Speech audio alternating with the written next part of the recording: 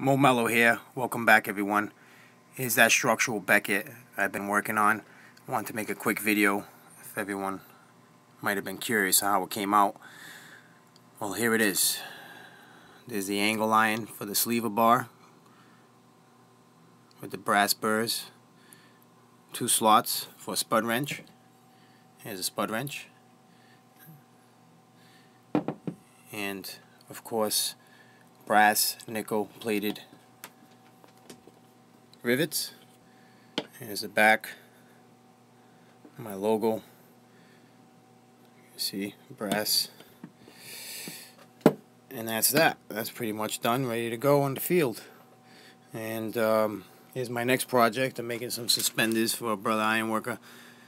Um, these ain't going to be for work. They're more for everyday use.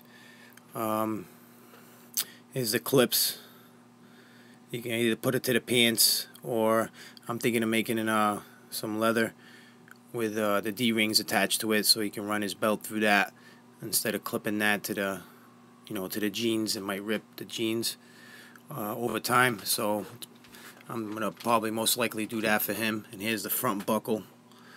Um, nickel plated of course. Oh and that's gonna attach there. And that buckle is gonna attach to the top of that and this will be the bottom where the clip will be attached.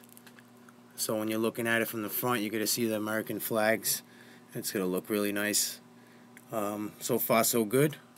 And I'll make another video on how that came out. And uh, thanks for tuning in and check me out on the next video